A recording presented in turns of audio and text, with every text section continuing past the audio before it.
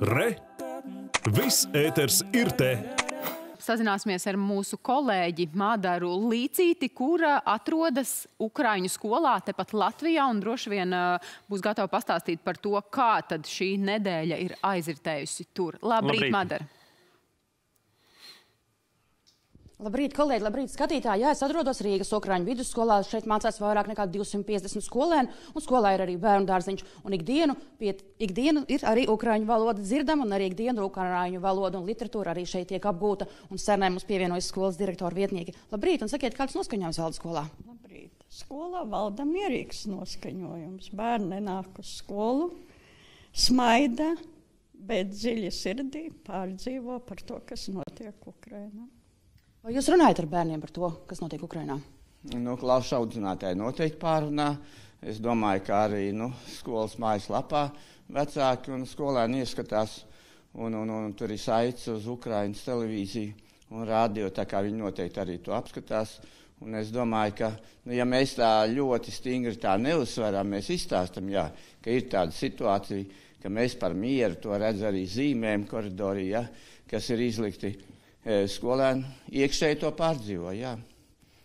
Cik daudziem skolēniem un arī pedagogiem ir radinieki Ukrajinā?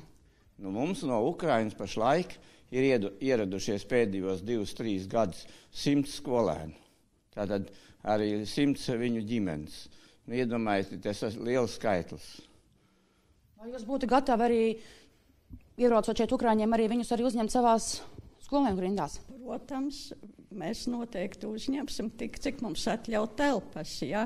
Tas, protams, ir liels darbs. Tas vairs nav tie ukraiņi, kas brauca mums ikdienā, lai gan jau pēc pirmās. Uh, Reizes 14. gadā mums bija divas bēgļu ģimenes skolā, un mēs ar viņiem strādājām individuāli pēc atsevišķi sastādītiem plāniem.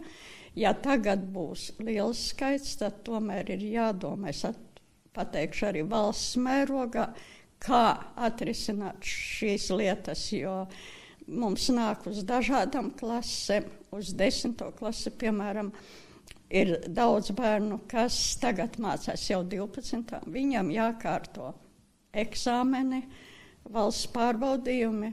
Gandrīz neviens no viņiem nav atteicies no valsts pārbaudījumiem. Viņi visi kārto arī latviešu valodu, bet nu, valstī pie šī, pie šī momenta arī jāpadomā, kā tas būs, ja būs liels skaitlis skolā bērnu. Es domāju, kā ar bērniem runāt par šo lielo traģēdiju, kas notiek Ukrajinā. Nu, vispirms es gribēju piebilst ja, kolēģei, ka piekdien ir e, izglītības ministra, ja, Mužniec pie, kundze pieteikusies e, vizītē mūsu skolā par šo jautājumu, apskatīt, kādas mums ir iespējas. Un mēs, protams, piedējām visas iespējas, ja kādas mm, mums ir iespējams šeit viņiem dot. Mums jau ir pieteikušies vairākas ģimenes un interesējas, kā varētu tikt uh, mūsu skolā mācīties. Problēma vienīgi tā, ka mums būs neatrisināts jautājums par 9. un 12. klasēm, jo tur viņi beidz 11. klasi. Pēdējais gads viņiem tas ir, ja, kad viņi saņem atestātu pie mums, tā ir 12. klase. Nu, diemžēl valsts pārbaudījumos viņi vairs nevar nekādi tikt iekšā. Kā šajā situācijā būs, tāpēc arī ministri ieradīsies skolā, lai mēs varētu risināt.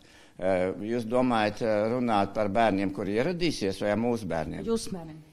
Par jautājumu, kuru? Kā Šo milzīgo traģēdiju. Šo milzīgo traģēdiju. Šo milzīgo traģēdiju. Nu, mēs varbūt ar bērniem drīzāk runāsim par to, ka Ukrainā ir tāda traģēdija un varbūt, ka ir ģimenes, kas labprāt šos bērnus uzņemt. Mums jau ir bijusi tāda situācija 14. gadā, ja, kad nu, ar bērniem vecākiem tika runāts un, un, un, un attiecīgi vairāki vecāki paņēma savās ģimenītēs bērnus.